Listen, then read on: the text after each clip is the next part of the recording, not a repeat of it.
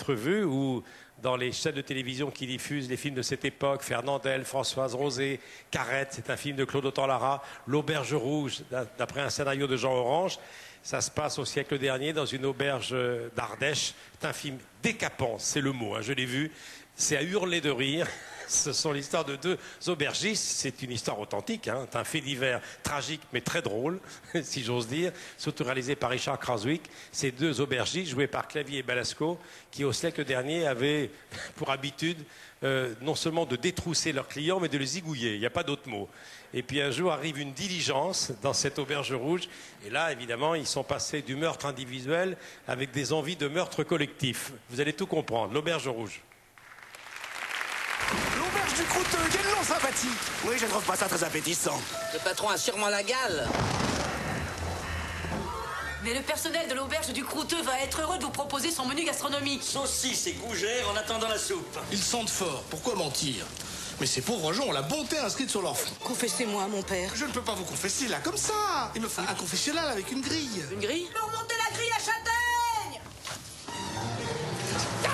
Un Gaspard crevé dans la vinasse, c'est pas bon signe, ça, Martin. C'est un petit vin de pays, mais il a du caractère. Un marchand de fromage avec son cheval s'était arrêté chez nous. Oh, il a un goût de rance.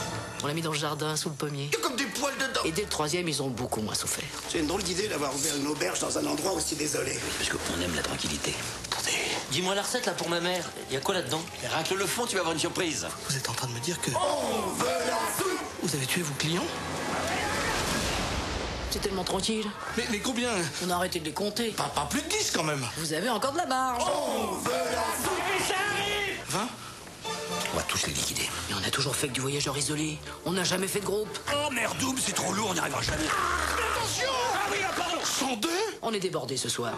Vous les avez mis où les autres On les a donnés à manger aux cochons. Vous avez donné des chrétiens à manger aux cochons Ah, ils en mangent bien, eux. Tenez mon père, un bon morceau de cochon. Mais pourtant, ces messieurs dames l'ont trouvé très à leur goût. Mais il faut dire que nos bêtes, on les chouchoute. Croyez-moi mes frères, il faut partir Les curés nous les enlèvent. Ah la vache On va tout barricader. Réveillez-vous Saloperie d'aristo. Entrez pas bien compte de l'effet que je fais aux hommes. Moi non plus. Qu'est-ce qui t'a pris Il va me mettre un petit coup de casserole par me, me massacrer? Seigneur, donnez-moi la force de tenir le secret de la confession. C'est ingrat l'hôtellerie. On se met en quatre pour les clients, et résultat, ils s'en foutent. Une distribution épatante. L'Auberge Rouge, avec Gérard Jugnot, avec Josiane Balasco, avec Christian Clavier, avec Jean-Baptiste Mounier. Ils sont là. On les applaudit.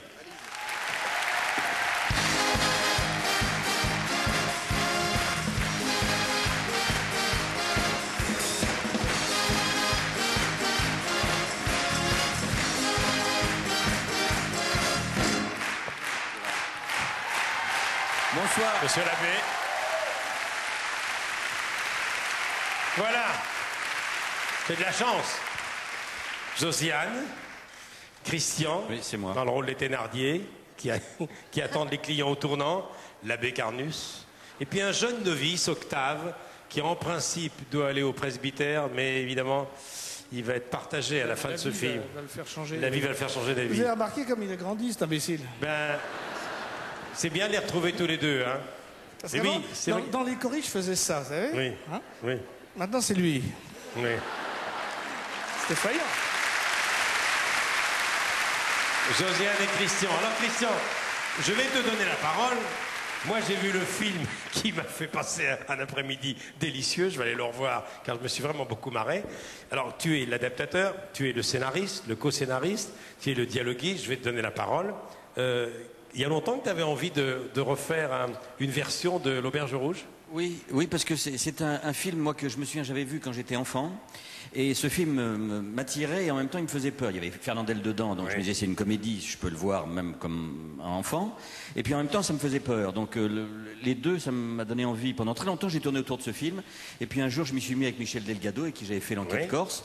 Et on on s'est mis à, à l'adaptation. Et, et puis c'est venu très très bien. Alors j'ai été très infidèle au premier film, il faut le dire, parce que ce qui m'amusait là-dedans, c'était de prendre la situation et de réunir euh, Gérard et Josiane d'abord, surtout d'ailleurs Josiane, excuse-moi Gérard, mais je n'aurais pas fait le film sans Josiane, parce que pour remplacer Françoise Rosé, je voyais absolument personne capable de faire ça. Personne. Et... J'aurais pas pu le faire, ça, ça c'est sûr. Non, toi, tu n'aurais pas pu le faire, ça c'est absolument certain.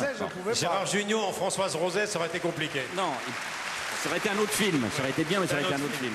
Et puis, j'ai j'ai pris la situation, euh, bon, ce qui est, ce- c'est comme dans les contes pour enfants. c'est- On ne doit pas s'arrêter dans la maison de l'ogre. Là, on ne doit pas s'arrêter dans cette auberge, sinon on est foutu. Puis il y a un grain de sable, c'est qu'elle, elle veut se confesser à ce prêtre. Et à partir de ce moment-là, eh ben, il va falloir que lui essaye de sauver les voyageurs sans trahir le secret de la confession Alors- et sans leur dire. Alors Rose, c'est ton épouse. Ah ben, hein moi, je suis très amoureuse de mon mari. Oui, on est, on est assez charnels tous les deux. Nous nous Et- aimons beaucoup. Il est très jaloux. Et la famille est très unie. On a une famille très unie, parce qu'on a, Deux un- enfants. on a un fils qu'on manipule et qui Un frappe un peu tout le monde avec des mais maillets. qui révélera des, des ressources Alors, vous êtes, vous êtes un couple absolument effrayant. Non, qui- non, qui- non, qui- non, non, on est un couple- c'est c'est comme les Thénardier. Moi, j'avais sont joué des quand j'ai joué, quand j'ai joué Thénardier. Sont des commerçants, oui. Non, c'est des commerçants, ce sont des gens qui ils sont dans une grande solitude, il y a des gens qui passent. Bon, alors ils ont les tentations. Effectivement, c'est pas des gens très recommandables, mais c'est quand même des braves gens.